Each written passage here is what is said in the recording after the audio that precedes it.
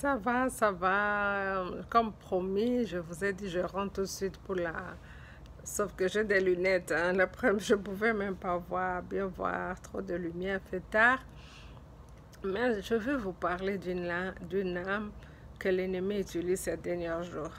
L'âme de la peur. Créer la peur. Comme si tout était fini, que c'est la fin de tout, on n'en peut plus. Mais bien aimé, il y a même des gens qui vont voir le féticheur, qui vont voir les marabouts, qui vont voir les gens qui font des incantations à cause de la peur, l'incertitude dans la vie. Mais aujourd'hui, je veux vous dire une chose. Dans ma vidéo précédente, on a parlé de Jésus. Quand tu reçois Jésus, le Saint-Esprit vient habiter en toi. Je vous ai dit, ce n'est plus toi qui vis, mais c'est Christ qui est en toi. Qu'est-ce que la peur devant Dieu? Tout ce que nous faisons dans la vie chrétienne, il faut tout simplement garder la foi et continuer la lutte. Oui, il y a la lutte. L'ennemi n'a pas fini de combattre les enfants de Dieu par de maladies, des soucis, de problèmes. Même toi qui me regardes à partir de l'hôpital, de la prison, merci pour les encouragements que vous m'envoyez parce que ça me permet de continuer de vous parler. Même toi qui as perdu le travail, même toi qu'on a jalousé et on a pris ton mari, tout ce que c'est. Mais bien aimé, il faut pardon. Nous tous, nous avons passé une vie où nous avons marché comme nous voulons, une vie où nous avons marché dans la méchanceté en train de faire du mal aux autres. C'est vrai, il y a des choses qui, qui, qui n'a pas plu à Dieu. Mais mes bien-aimés, revenons à notre sujet.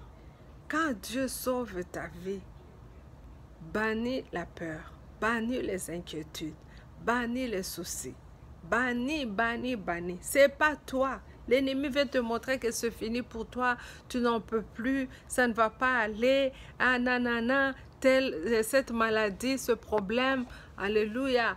Tel a, eu ce problème, il est parti chez tel marabout, féticheur, et tu entres encore dans les choses sataniques, dans les choses démoniaques, tu laisses Jésus. Jésus est tout pour toi. Mais bien aimé, tu n'as plus, je dis, tu n'as plus besoin de sacrifices, des offrandes, de, de, de cochons, de moutons, de poulets. Tu n'en as plus besoin. Christ a tout accompli. La Bible nous dit que tout concourt au bien de ceux qui aiment Dieu. Même quand le problème vient dans ta vie, sache que, que Dieu va changer ce problème en bien pour te sauver. Tu vas voir devant tes ennemis, il va dresser une bonne table.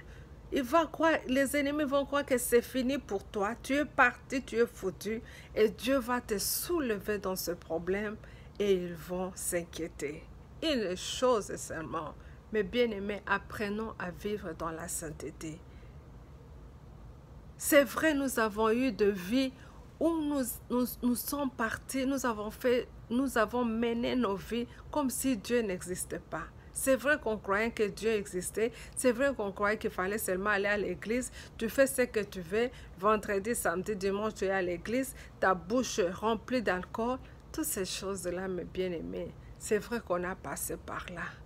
Mais avec ce qui se passe dans ce monde, nous devons apprendre maintenant à donner la priorité à Dieu.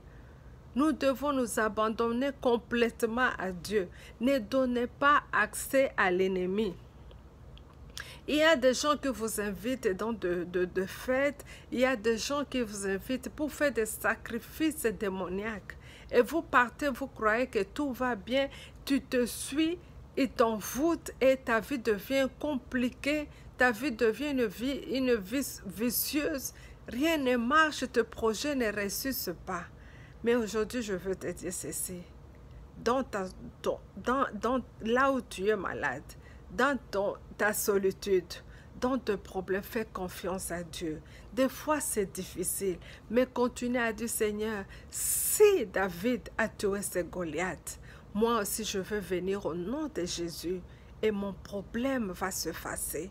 Parce que le nom de Jésus est le nom qui a été donné, qui est au-dessus de tout nom. Le nom par lequel je vais chasser ces problèmes. Le nom par lequel je suis victorieuse. Je ne, je, ne, tu ne, je ne laisserai pas cette situation me dépasser parce que Christ à moi, espérance de gloire.